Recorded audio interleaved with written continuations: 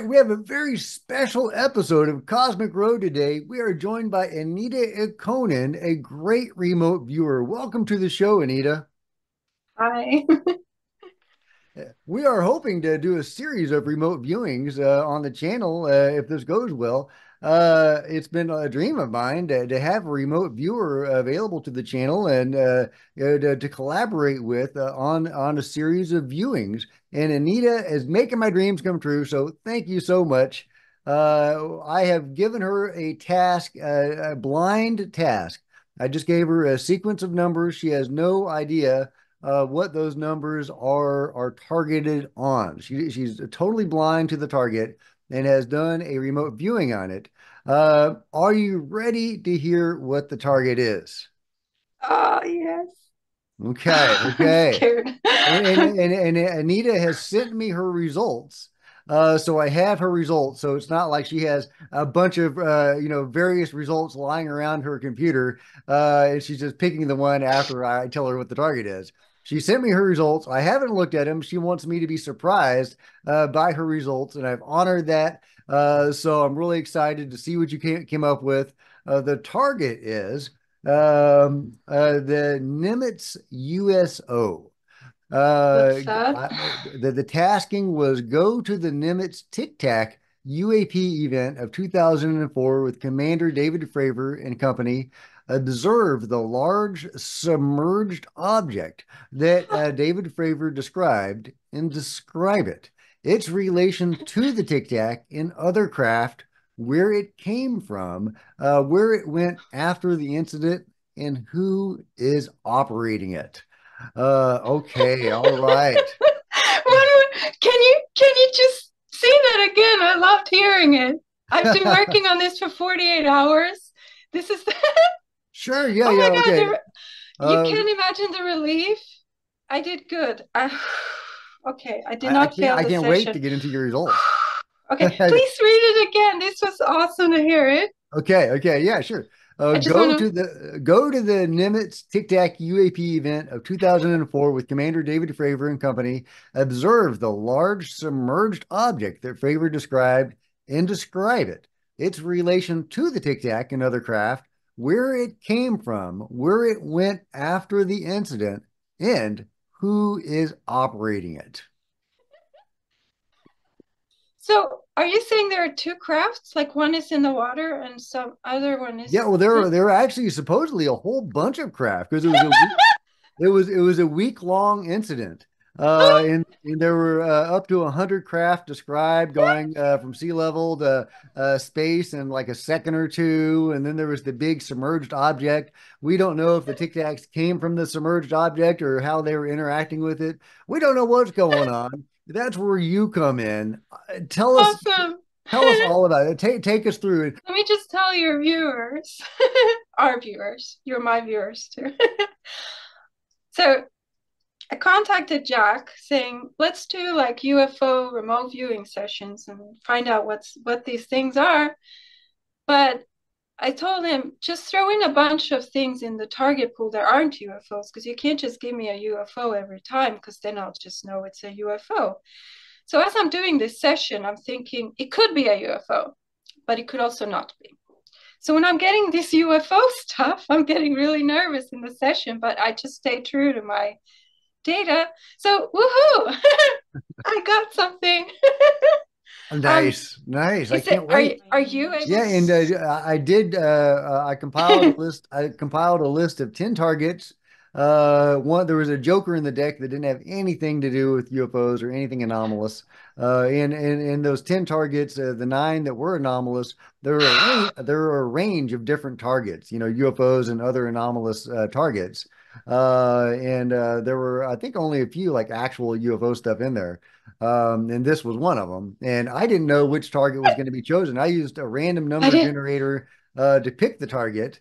Uh, and then I used another random number generator to generate the string of uh, numbers uh, that would be the actual task. Uh, okay, okay. Uh, so, all right, take us through it, Anita. Can you see my paper? Yeah, yeah. Okay. All right. So I almost faint here. Can can you imagine how stressful it is to spend 48 hours on a target and think it's going to be broadcast on someone's channel? And what if i fail? And what if i'm just making stuff up because i know it could be a ufo but i survived. It i, I did good. did we got you a ufo it. i captured it. We're gonna so i created a really long full text report which is i think 12 pages or something like that could be 20 where i just write everything down i did take the time and care to craft a summary for Jack and for our viewers so that it it captures the essential data without repeating stuff and with and just removing the things we don't really need to look at. So, and I will show you all the drawings. It gets really cool. So, what I had was I had a flattened disc. Uh, I'll just read from the report and tell you at the same time. A flattened disc the exterior of the oh wow the outside of this flying object that i had was so beautiful it was smooth and glossy and it looked like a mirror you could see the clouds and the blue sky reflecting on it and i had the impression that it's almost like it could use it as a camouflage like using a mirror to show what's around it so that you don't see it it was so reflective a perfect mirror image gorgeous. But when I touched on the outside, it was smooth, but also scratchy, which surprised me. Um, the top of the object had this bulging dome shape on the top center, which appeared to be glass in material. It was hollow inside the structure, and it contains mechanics. Now, interesting is that this craft uses resonance. It resonates with itself, and that is how it is able to move quicker.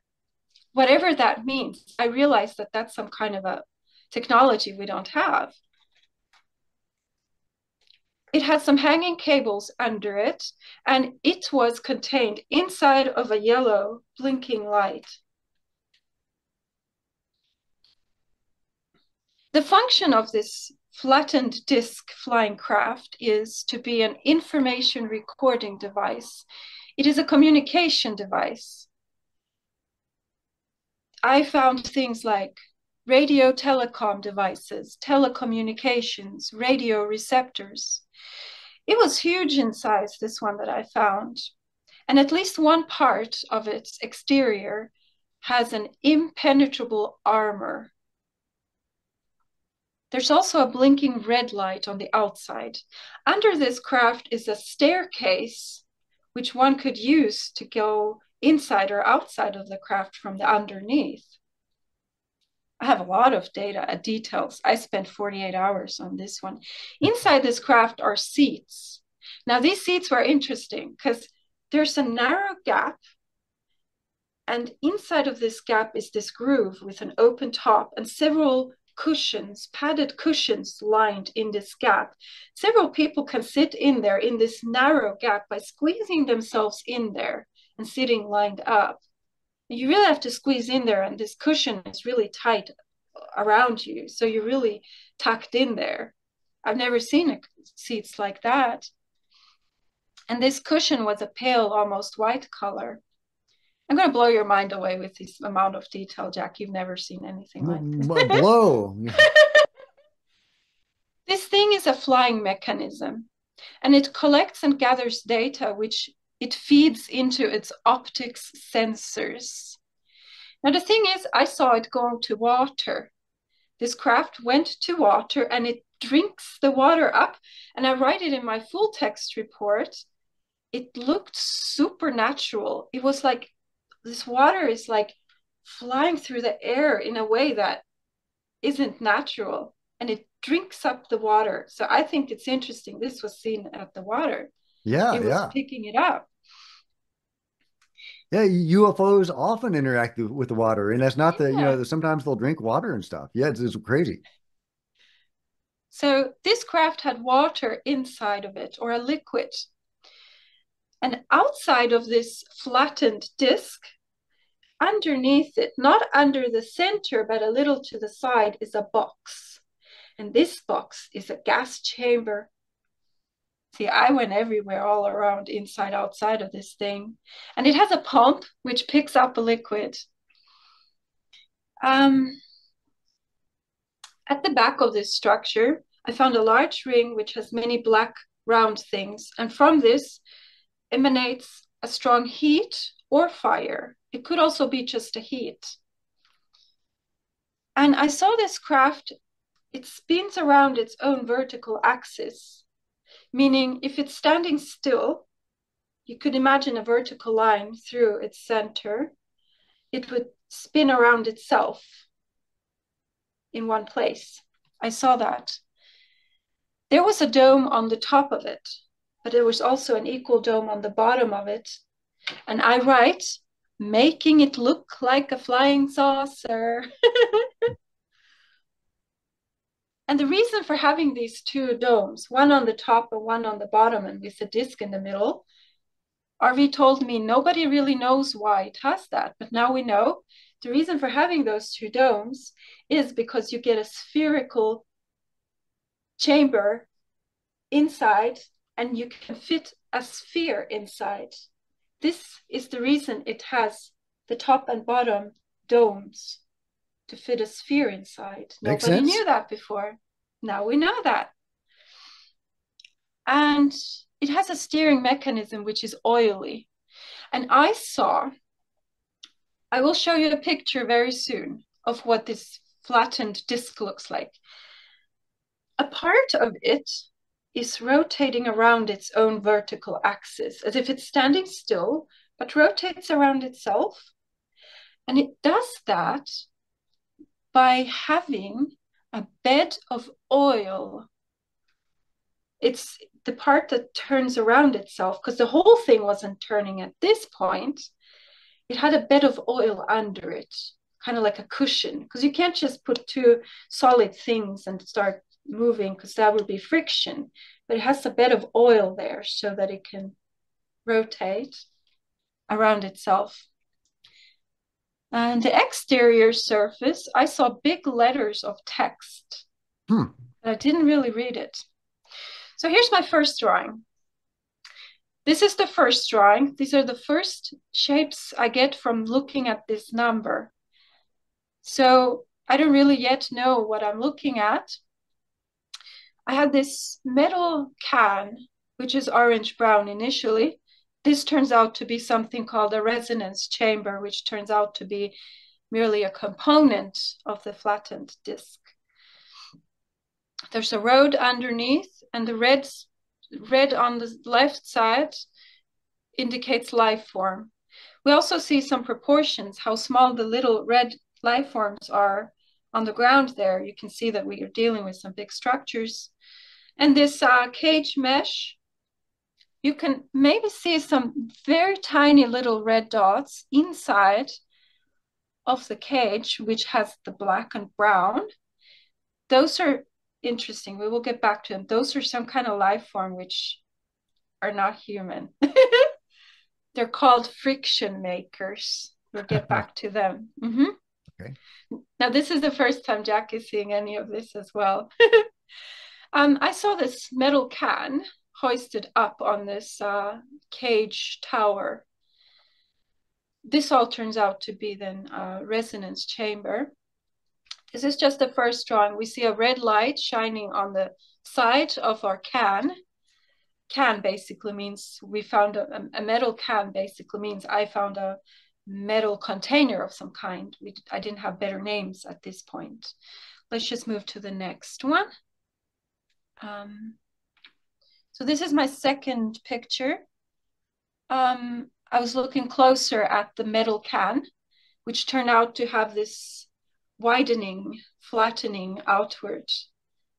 As you can see, it's not just really a can. Once you start patting it down, you see that it's has this kind of an extension and flattening. You look like you want to say something there. no, no, no. Or I'm just, just taking it all in.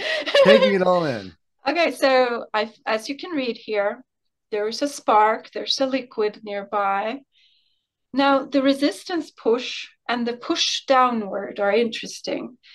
It was as if air around it becomes thicker and pushes on it. We will get back to that. It uses it for navigation and propulsion.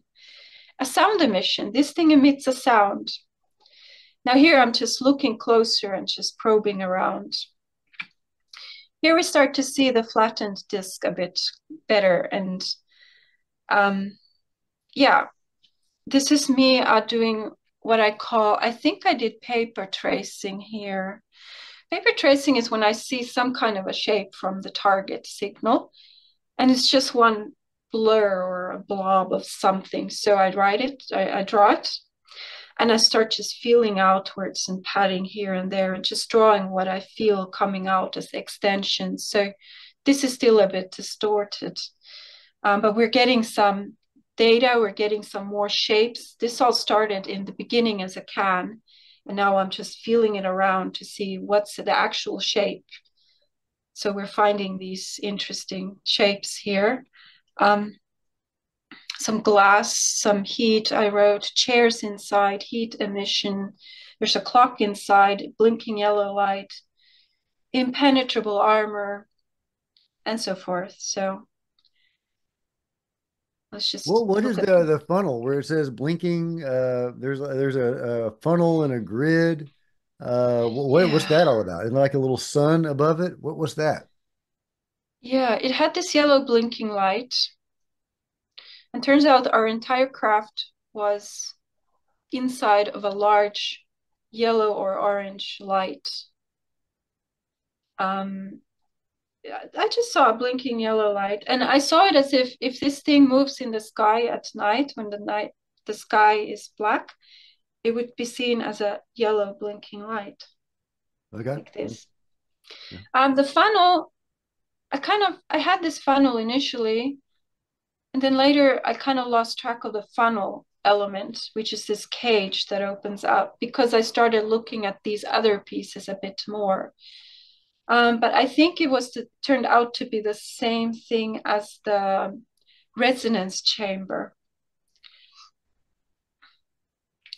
And this is the next picture. What, what, what, was that structure with like the horn sticking out of it? It was like uh yeah. Yeah, those were some side wings, and those turned out to be those would see in the beginning it's like i have a blur just a blob. I have to start feeling it around. What's what's the exact detailed shapes? So i keep coming across these things and i'm not sure these this these spiky things are either turned out to be the flat disc portion of the craft that i would need to continue feeling it out or I also found blades like this inside the craft. These blades can slide, and when they slide, it moves a resonance chamber tube, which is inside the craft. See, I went all in there. okay. okay. This okay. is still this is still early stages, you know, it's still a bit messy and blurry. Just feeling things, getting bits, pieces, finding, oh, there's something that goes out here, it's sharp and it kind of curves, then I would draw it how I got it. Not necessarily yet knowing how things connect and what goes where, you know.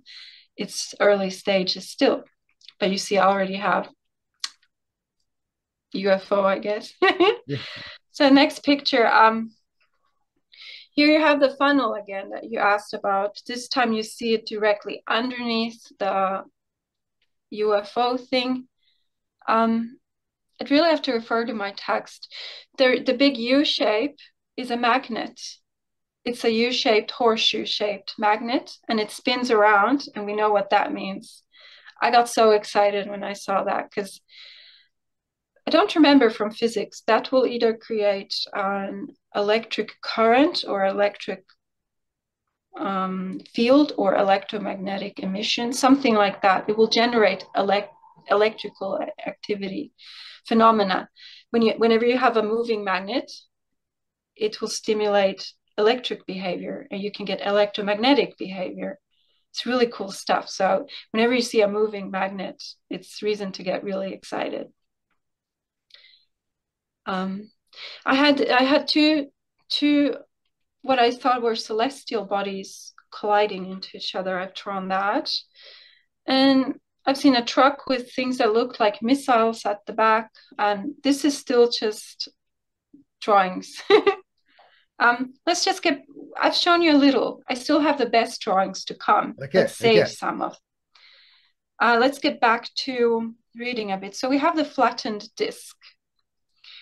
And the orange light, um, the structure is inside of a bright burning orange light, or that the light is inside the structure. This orange light feeds monitoring processes and is a library of information. Then I get words like channels, maneuvering, steering, optical sensors, mechanistic models, how to use a steam engine better, ley lines, photon emission, steering mechanism, and the resonance chamber glows yellow. And there was this steady humming sound. And when I heard that, I instantly thought this has to be a UFO because you always hear about UFOs having this humming sound. Have you heard about that? Yeah, oh yeah, yeah. I heard it. This one has the humming sound. And we hear a music or a sound around this craft. A loud tone is emanated as this big orange light is being lowered slowly downwards. And I saw some metallic shrapnels, which are several pieces of bent metal. They were soft and that you could shrivel them up like aluminum tinfoil, except not as much. You can't really shrivel them up a lot, but quite a lot. So it wasn't really like any other metal we've seen. So it was a very interesting metal. Yeah, you, know, you get that you get that sometimes with the they call it the memory metal. Uh, yeah. you know that, that, comes up in some UFO crashes, which is which is I don't know if that's the same uh, material or not, but it sure sounds like it. It was like I haven't seen a metal that can be bent and disfigured so softly without it being aluminum foil. Mm-hmm, mm-hmm. It was mm-hmm. interesting. And this metal shrapnel had this orange brownish brass kind of color almost. Ignition fuel. Ignition fuel liquid is contained inside the craft. And I saw that there is a liquid fuel which gets sprayed or injected. And this fuel has a gummy texture, so it's viscous like an oil and it's combustible for the flame, which made me think it cannot be extraterrestrial because that sounds very human technology yeah, to have a combustion engine. Yeah. engine. Yeah. The craft dunks itself into water and picks up liquid. Chemical particles feed a burning fire as an ignition fuel. That made me think human craft, most likely. Radio sender. So this funnel, now we get to this funnel, the cage looking thing, the long cage. Um, it is a signaling tube. It draws radio waves. It is a monitoring device has a resistance like resistors in electronics. The bottom of it has a fuel ignition mechanism. There are monitoring clocks, activation mechanisms. There's a liquid picked up, which is needed to make a steam, and the steam ignites clocks. The clocks are counters. There's a signaling system which emits radio waves. It's a radio sender and was moving in a straight line trajectory against the black sky with a yellow blinking light. Radio listening device, an intercepting device. I get the sense it can pick up on communications to listen in on communications. It contains several flat brown rectangles, which contain films that are professionally made photographs. These are like books, like stacks of electronic images.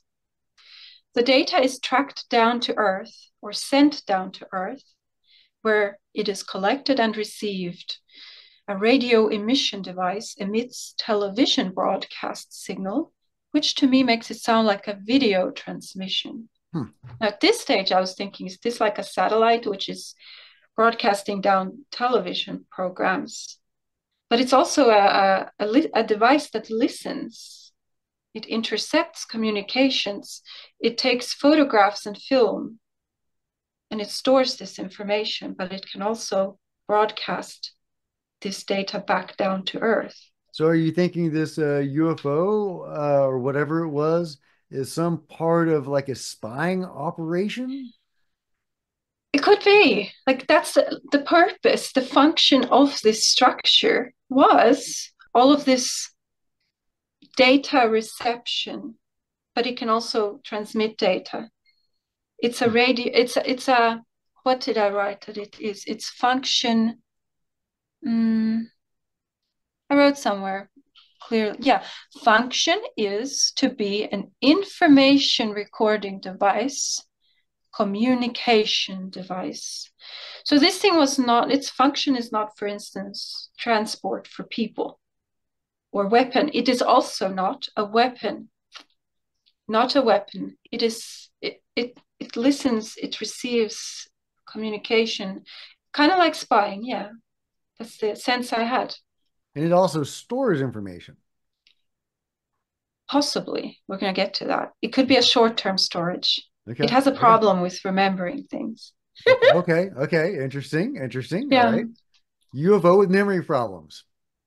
I can relate. Collision. I already described and sh showed you the drawing where the two big celestial bodies collided. Resonance chamber. Now, this resonance chamber is a hollow pipe inside of our structure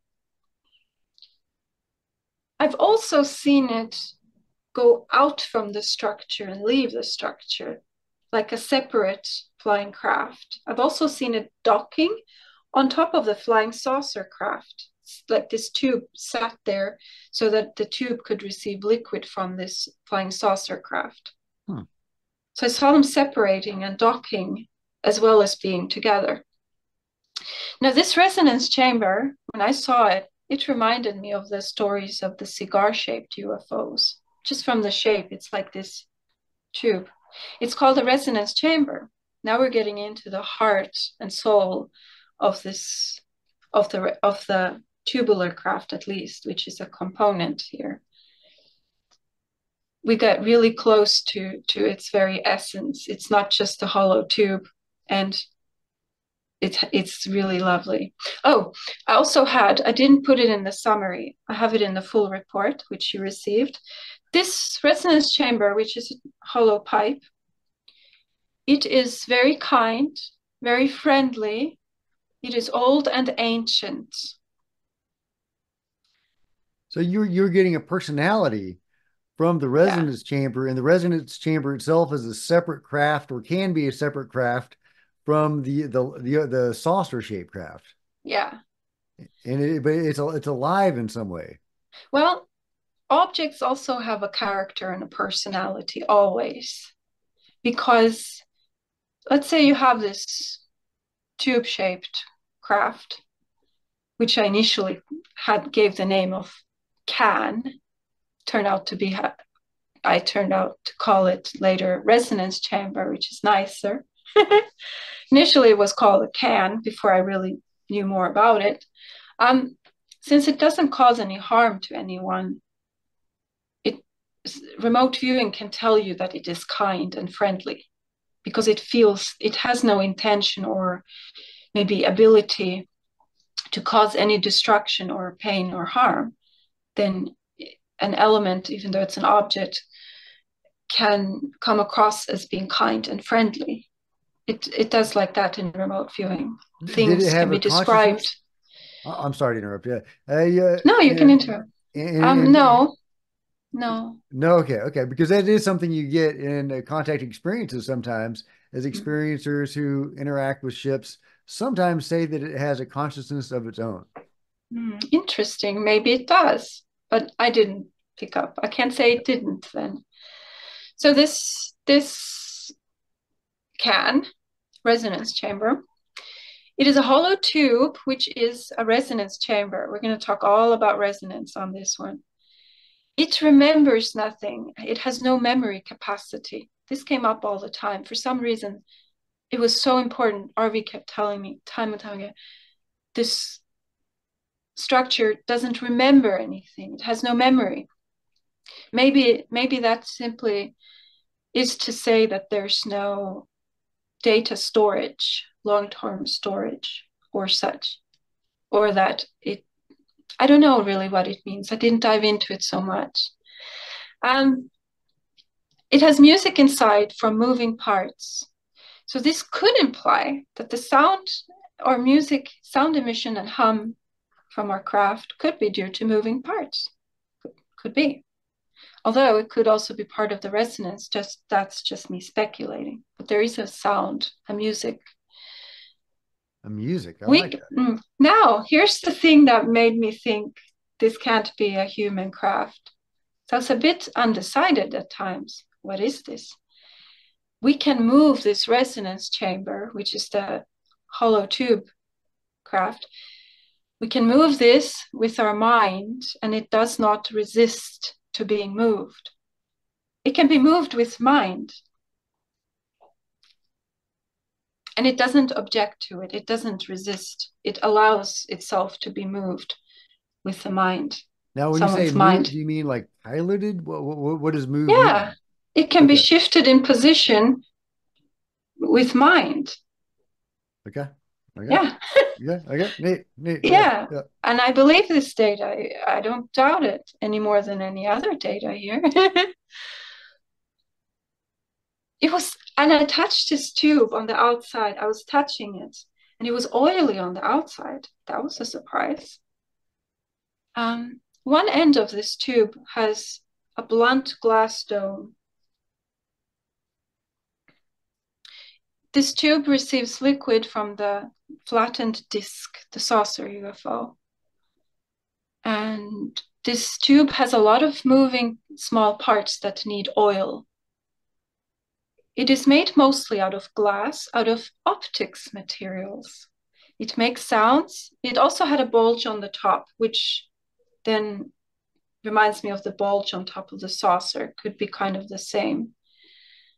It has a camera and an optic lens. A, a camera that we would recognize, like a human camera, or maybe these technologies felt human, but not all of them. I didn't really investigate to find the camera or to look around. What I just it just said there's this optical camera. I didn't really search for it or see it. I okay. was told it's there. Okay. Uh, it follows and tracks movements with the camera optic lens. So here again, this thing that it's observing and it records, it's looking at things and makes video and photographs and other recordings of what it's looking at. Um, it can be turned around swiftly. Optics cables near the end that has the glass dome. Yeah, and this this tube had a slight bend. So on one end, it's kind of bent upwards. It's not a perfectly straight tube, turns out. Um, it can be steered. It can be set on a track path. So it can be given a, a path to travel in and it can be steered. Now, okay, so all right. Um how big was the tube? Do you have any idea how big this thing was? Huge. Huge. Because okay, so so not the Tic Tac. I don't know. The Tic Tac. This thing probably, was huge. The the Tic Tac is about the same size as, as a fighter jet. So this is this sounds like it was bigger than that. Because when you say tube and you know, you know the Tic Tac we'll is kind of kind of tubular. We'll see. Okay. We'll okay. See, okay. Because... Oh, let's keep going. Let's keep going. Okay. Okay. There is a metallic chime resonance inside. A loud song music chime is heard in the air around it. It is being dragged by cables. It goes toward resonances and then it stays there and it resonates with it. It travels on resonance chimes, and chime is a sound.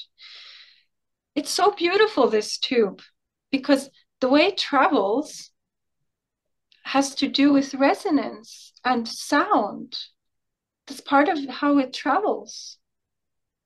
That's something really beautiful that we humans, at least officially, we don't have that. That is so cool. then we have riding on air currents. So the flattened disk uses hot air to move with, which puzzled me because I was thinking if this is a UFO, why would it be using air currents because if it goes to outer space, presumably, there's no air there to travel with. But that's what I saw. So the floating the floating disk, which was hanging in the sky, it can be moved vertically up and down by means of wind currents. I saw air sucked into it from the outside. It rides on pockets of air. It stays afloat that way. And it all makes perfect sense. I'll just sum it up. We could read it here, but um, it can create hot air underneath it outside of this craft, the flattened disk. And since hot air rises, the craft rises with the hot air that's under it. It sounds simple and perfect, but that's what I saw. Or this sounds counterintuitive if it has hot air above it, the hot air above it will push it down. So huh. it seems like it's so if the hot air is under it, it goes up. If the hot air is above it, it goes down. That's what I saw. That's wild. That's wild. and I saw it moving in a circular trajectory really fast. Yeah. Pink resonance magnetism. I saw pink color. It turns out the pink was magnetism magnetism is an important part of this structure. Um, so we already discussed the U-shaped magnet, which rotated. And this U-shaped magnet rotates around its vertical axis and emits a wave or a fluctuation whose intensity can be varied. Within this emitted fluctuation, time is altered. I ah. went I I was so excited when I got that. Because we I don't think we have that. I don't think we have this science. Time was altered. The variable of time wasn't linear in that. It could be changed. Can it go outside of space and time?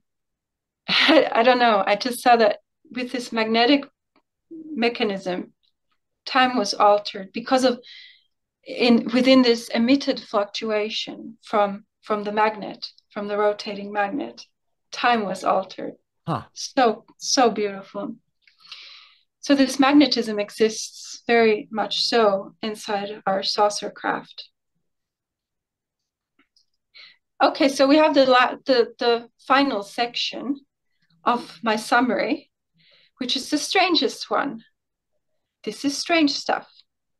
Lay, lay it on I... me, Anita. lay it on me. Now, as I was, now this is all, this whole text here is a summary from the full text report, which is massive. But I have all of the relevant data in here. I didn't really leave anything out. So now is when it gets interesting. as I was writing this summary or compiling it actually, I was thinking, oh boy, I just have to put in what I, I just have to put the data that I had. I can't explain it. It's weird. It is what it is. The friction makers. Let's see. Let's go back to pictures. Because I have a drawing of them. So we looked at this one already. Here's the next picture. And here we have the friction makers. Mm. He's got so like tentacles see, for feet. I didn't I didn't really squeeze their toes to, to see what, what that's made of. Okay. so here you see first you see the big yellow orb, which it, I think is light, and you see the craft inside it, which is our saucer, the flying saucer flattened disc. Um, you see it inside there. And you see that I've really patted it around, so I found that it extends like two wings to the sides, kind of. And see another drawing of it to the left, which where I wrote the gas chamber and the staircase. That's the same structure as inside the yellow orb. And you see the pink, all of the pink you see in three, in four places here is the magnetism.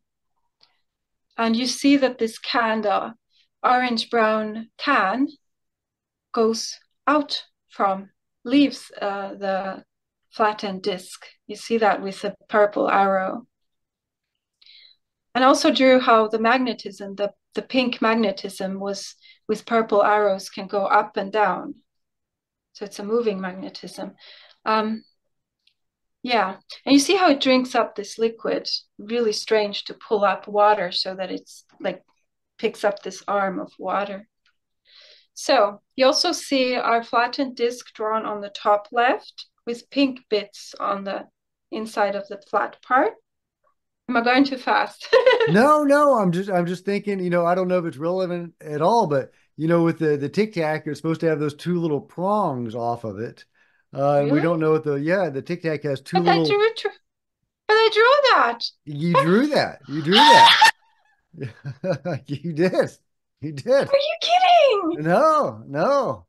Now, I mean, I don't know if what you're describing is the Tic Tac or the USO or, or you know what, oh but, yeah, yeah, yeah, yeah, that's right. Are you serious? No, I've yes, heard I'm, of I'm the Tic Tac. I've heard of the Tic Tac. I can only recall the Tic Tac has two little prongs off of it. Downward. What was that? Do they go downward? I I think so. I'm trying to remember. I'm trying to remember. Yeah, yeah. Sorry to get excited, but this is uh, really cool. Let me see. I, have heard I'm of the Tic Tac. Okay. Well, when, when we're done, I'll, I'll look. I'll see if it goes up or down. But yeah, yeah, yeah. I've heard of the Tic Tac. I'm I must have seen a picture, but I've never really looked closer. I didn't know it has to see. I've drawn it on this on both um, the the flattened disc, as I came to call it, I've drawn it once inside of the yellow and once to the left of it where I wrote gas chamber and staircase. On both of them, you see those thin, two thin gray things. And those can slide. They can slide. And what I saw is that when they slide, it moves the, the tube. The tube moves. When the tube is docked, is on or in, the disc craft when those when those blades slide it moves the tube okay okay okay i'm sorry to get so excited but yeah no of course of course. Yeah uh, yeah yeah. The corroboration. So, yeah 100% yeah. That's awesome. That's awesome. Love so, it. yeah so so the interesting thing on the on the left side, which has these tubes and the pink and the bendy legs, that's one of our friction makers. That's one of the weirdest things I ever saw in a remote viewing in my life. I'm just going to describe respectfully the data. I, no opinion from me or so that's that's how I would draw them. It's probably not it's not a complete drawing. I should have probed more, but I was mainly focused focusing on the craft. So just like if you draw something in remote viewing and you haven't patted down and investigated every little piece of it, there could be something there that you missed because you don't see everything at the same time. You have to work on it. You have to explore all the areas. So that's what I had so far. It could be intermediary. It could be that if I put more work on it, it could continue to evolve. But that's how I would draw them. Um, so let's read about it. Um, also, I show you um, on the left top, you see little pink bits inside of the flat part that's where they are housed. That's how small they are um, compared to the size. They're even smaller. They're very small inside our craft. These the, things the, the are beings. The beings are small. Yeah, and they're they're stored inside of this. Are, are these living beings? Or are these biological androids? What what what are these things? Let's go. Let's get into it. Okay. Okay. All right. Friction makers. Inside of the resonance chamber, which is our hollow tube shaped component, are many tiny life forms called friction makers. In this session, we also call them passengers as well as hostages. Hmm. They are not biological life forms. They do not have any biological tissue that I could recognize. They do not have a brain organ and they do not have blood.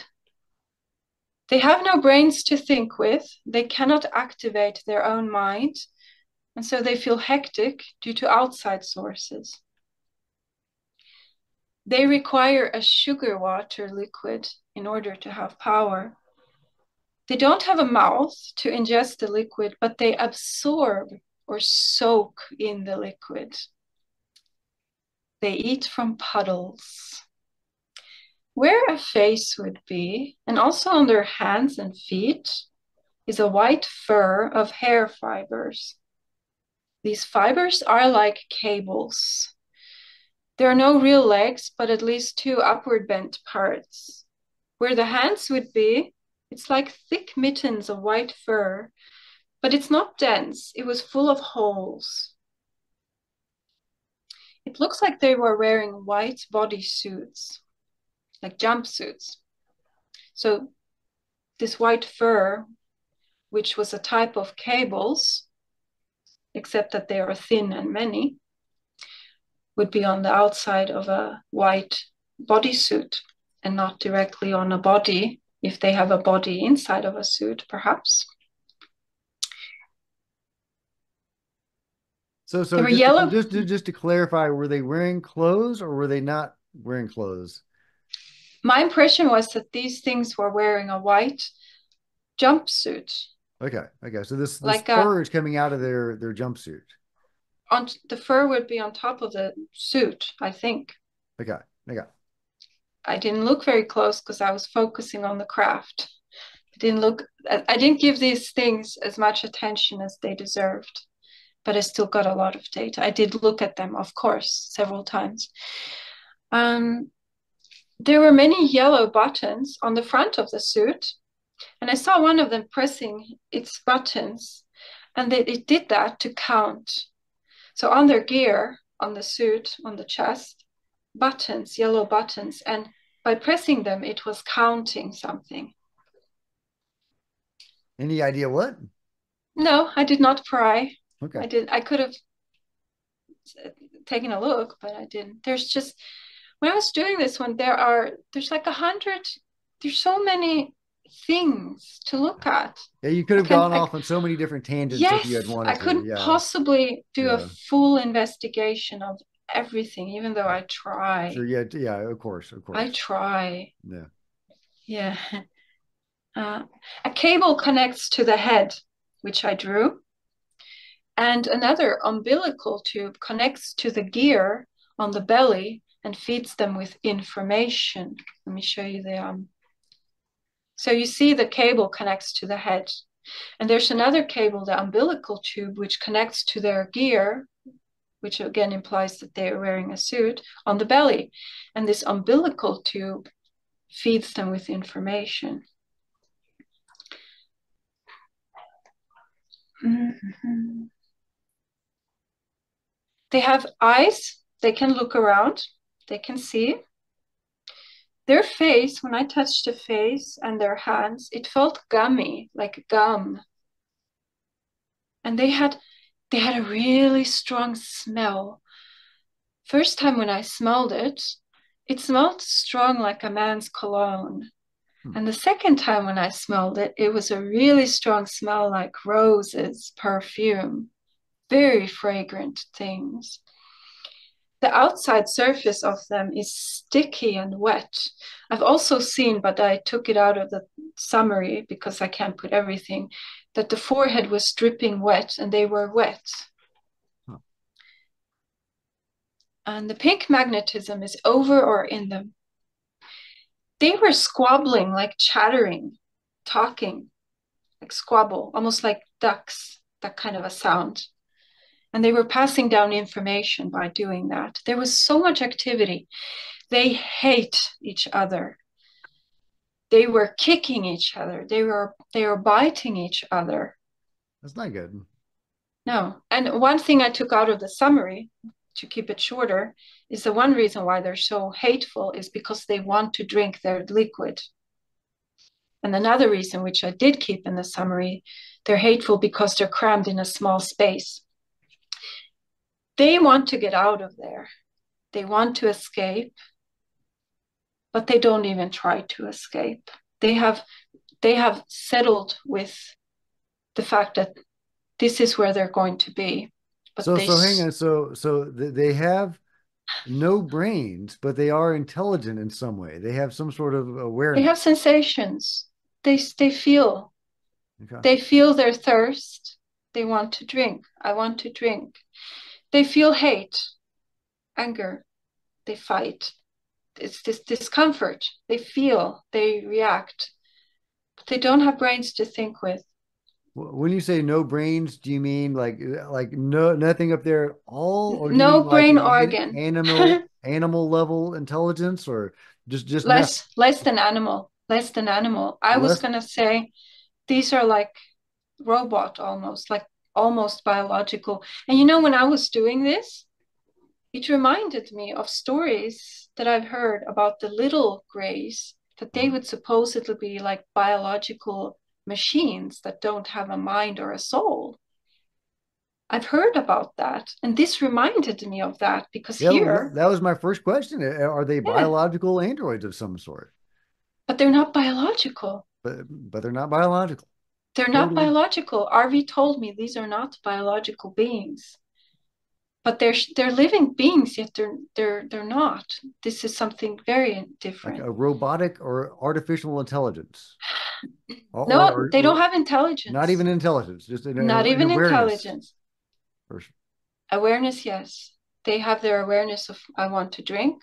They have their awareness. I don't want to be here. They fight each other. I saw them kicking each other. I saw them biting each other. They don't have a mouth, but somehow.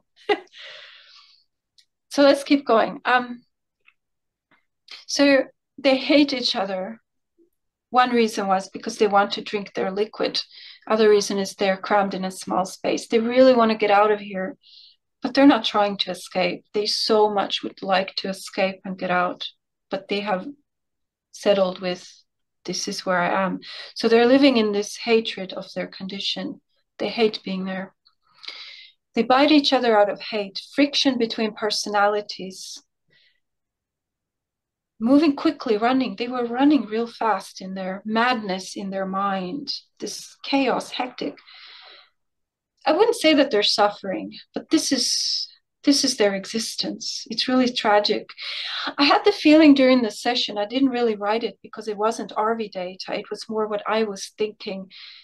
I had the sense that these, it's like, you know, when you take like bacteria or fungus and you try to incorporate it into electronics so that you're abusing or using biology inside of a machine and it sits there enslaved you know people are trying to build things like that.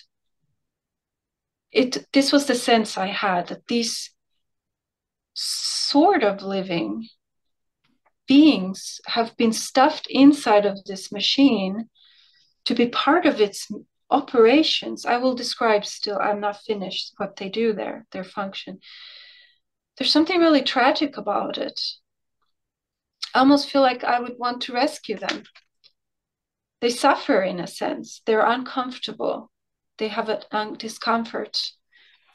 Um, now we get to what they actually do which is bizarre beyond any anything bizarre they have some kind of fabric shoes. So when they walk, it forms friction with the surface. They jump and it creates sparks. They ignite things with their bodies. They rub against each other, which makes friction. They move items around and push switches and activate ignition sparks. And they push blocks, which ignite sparks too. And then I see a big fire comes down the path along the line. They form friction on the exterior of their bodysuits like a static electricity. They communicate that way by making the friction.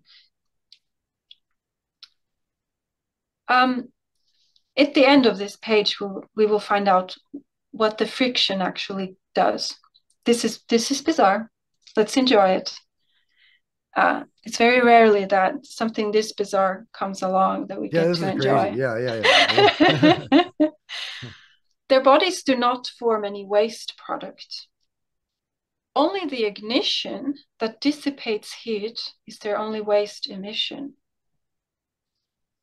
So if you're thinking like uh, conservation of energy, if they're ingesting some kind of a liquid nutrition, you'd think that their body has some kind of a waste. Well, the friction that they do dissipates heat, and that's a form of waste emission. We do that too.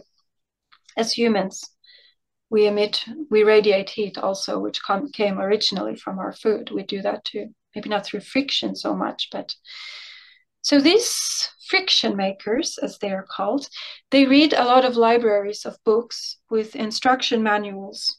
They read fast, then they go to sleep and rest. They do not remember what they read. That is why they have to go read it all over again. They read, then they sleep, then they wake up to do it all over again. They have their own sleeping chambers, which are inside of the resonance chamber tube. They do not try to escape or get out. I already discussed that. These life forms are called friction makers. They are, these beings are reading devices. They're beings, perhaps, but you would say they are a reading device. A reading device. Yes. They soak up information in libraries. Their minds remember nothing.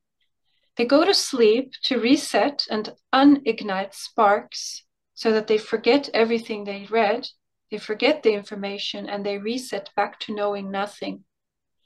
So they seem like short term information storage, which is made to not remember long term. So this makes them sound like biological, which they're not, but they also sound like part of a machine, part of electronics, components of information handling. It's as if they are, I was thinking, doing this, I was thinking, are these pieces in a computer information storage or information processing or information transfer? Are they little bits in a machine? That's what they remind me of. Last part to read. They sleep inside the resonance chamber. They generate heat. The heat goes underneath the flattened disk, and the heat under the flattened disk causes the flattened disk to rise upwards, riding on air currents and rising because of hot air. So now we came around about back to that. So you see how, let me finish here. I write, they are not humans. They make the pink magnetism flow they keep operations mechanisms going. The rubbing causes a friction which generates heat. This is how they warm their bodies and also they jump up and down to release more heat. They travel on a road, riding on a wagon with wheels and go to the yellow light. One was lying on its back on a moving wheeled cart. So we finish reading, we can go here. So these things, one thing that I see them doing is they they rub against each other, against the floor, creates static electricity. And somehow this creates a heat, and this heat goes under the flattened disk, creates a heat under outside the disk, and this heat makes the craft rise up. Bizarre beyond belief. So it's like they're part of the machinery. And they're kind of like living beings, but they're not biological and they're not human but they're part of the machinery. It's like having these little mini workers in the craft inside of the machine room where they have to do this. And they don't like it. They suffer. They feel miserable. And they, for some reason, they don't have a memory. The things that they learn about, I think they learn operation mechanisms, we said. They learn it short term, then they go to sleep, and when they sleep, they forget everything they learned the, the day before and they're blank minds again. They don't know anything. So everything they learn one day, after they go to sleep and wake up, they don't know any of it anymore. They're blank again. They, then they have to read it all over again. There's something very tragic about this. I really feel it. There's a tragedy, an exploitation. It, it must be a form of exploitation, but I don't think we're in a position to judge. We simply describe this is what we had. It's not my right to make a judgment if it's how I feel about it. This is what I encountered in there. That's um, fascinating, and you know, I'm not afraid to make a judgment. I, that sounds like slavery. You know, that sounds yes. That sounds. Yes. It doesn't sound good. It doesn't sound good. Yeah. Um, uh, so, and they hate. They're they're constantly fighting. They kick. They bite. They yell at each other. They're screaming at each other. What kind of a life is that? yeah, so hectic. mean, that's what happens when you put too many rats in a cage. They fight and mm. tear at each other. Yeah. Um, you know, it's uh, overpopulation uh, can do, can do that. Okay, so um, uh, can you tell me a little bit about uh, what they're reading? Or, or what's the what's a library? I mean, we're talking about books. Are we talking about downloading instruction manuals? I wrote it here. Okay. Okay. They read lots of library. The friction makers read instruction manuals. Now, now, when you say manuals, is this a text? Is this is this uh, electric? Is this well, how how is this information? Uh, you know, wh- where is it contained? I didn't look. Okay. Okay. Well, what an instruction manual for what? I didn't look. Okay. All okay. I need to do to answer those questions is to take one finger and to brush it slowly, gently across even the word instruction manual. Finger across will tell me, but I didn't do that because there's just so many things to look at. Yeah, yeah, and, and they were not the main. This is the condensed version of what you got. You had you had a, a, a much longer text, right? At one point. Yeah, that was the summary, but the summary contains everything, almost 99% of the data. But there is a longer text, but it's very repetitive, and there are things that I can take away because, for instance, initially I call something a can, and later I call it the resonance chamber. That means calling it a can becomes redundant after a while. So, I mean, the summary has everything almost in it. Um, we have one more picture. That's the last picture. So I've drawn the seats. It was weird. that's that's the seating. So it's this narrow uh, space and there's all these padded dense padded cushions lined up inside of that space. It's open on the top. It's kind of like you, you have to squeeze yourself to to sit down there. And your nose if you sat there would be facing along the line of seats not into the wall there. And several people or whatever could sit there in this seat I've never seen sofa like that. did, did you see anybody sitting there? I think I saw someone squeezed down in there. I wasn't sure. Yeah. But... So no, no idea if the operators were human or you know grays or anything else. I could have I could have put more effort into looking at the people's beings, but I really focused on the craft. So something had to give. I think we can stop screen sharing. How do I do that? Frega, there. Okay. Anita, wow. thank you so much. That was beyond fascinating. It was wild taking us on this incredible ride uh, through your session and this and awesome data that you were getting uh, on uh, the, the, the craft, uh, you know, its interaction with water, the, the crazy uh, friction maker beings, uh, yes. you know, that, that may be uh, enslaved in some way or, mm. or something like that, uh, captives in any case, uh, and forced to uh, generate friction. Uh, apparently, as as bizarre as that sounds for such an exotic craft, um, and uh, and also having some sort of interaction with data uh, and absorbing data, instruction manuals, but then being wiped clean and forced to mm-hmm. reread that. that. That's so it's so like a like a nightmare trip, you know. That's just crazy. That's crazy. Uh, well, what are your what are your overall thoughts on it all now? Now that you know the target, what what do you think? Well, I don't know what to think. I just know the data I had.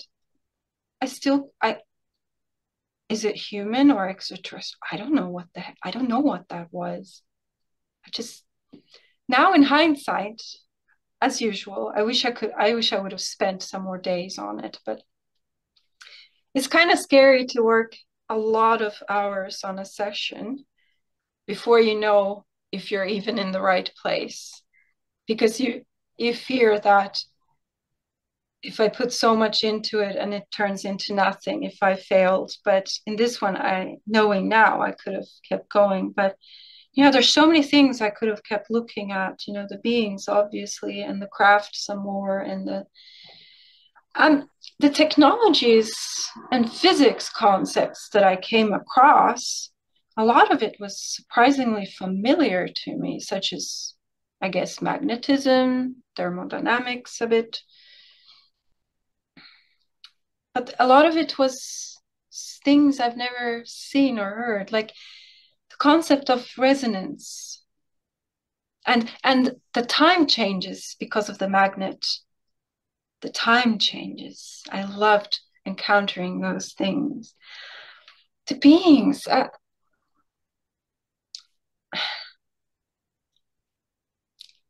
what is that? I don't know. Yeah, we, we need to start a campaign. Free the friction makers. yes. Yeah. Yeah. This is what I had. I'm glad I did it. Thank you for tasking me the tic-tac. Well, well, thank you so much for spending so much time getting this amazing, uh, if very puzzling data. Uh, I, I really, I can't tell you how weird that data is. That's um, weird about it too. yeah, I mean, you got you got resonance chambers, you got friction makers, uh, you have possible time travel involved. Um, you know, uh, you got the the two prongs that you know roughly correlate to the the the tic tac uh, prongs. Yes. Um, yeah, just is such interesting interesting information, Anita. Uh, eh, eh, you have your own channel, right? Your own YouTube yes. channel. All right, I'm going to link to it in the in the description below, and I encourage everybody to go check out Anita's uh, uh YouTube channel, and mm-hmm. uh, hopefully we'll have uh, more of these videos below. So everybody, give a big thank you to Anita uh, for this awesome information. Uh, big thumbs up. Go to her channel. is there any other way for people to contact you, or anything else people should know about that? Mm, well, the YouTube channel is a good place to start. I think I'm going to link everything else I have from remote viewing from there. So. All right, great. Well, guys, give Anita a big thank you and a good reaction to this video. Uh, and uh, hopefully uh, we can knock out some of the other uh, 10 targets that I have listed. I think I think you're going to like these targets, guys. So uh, yeah, so let's let's uh, give a big shout out to Anita and go follow her channel and like and thumbs up and all that kind of stuff. And I'll see you next time, guys. Thank you so much. Uh, uh, Jack out.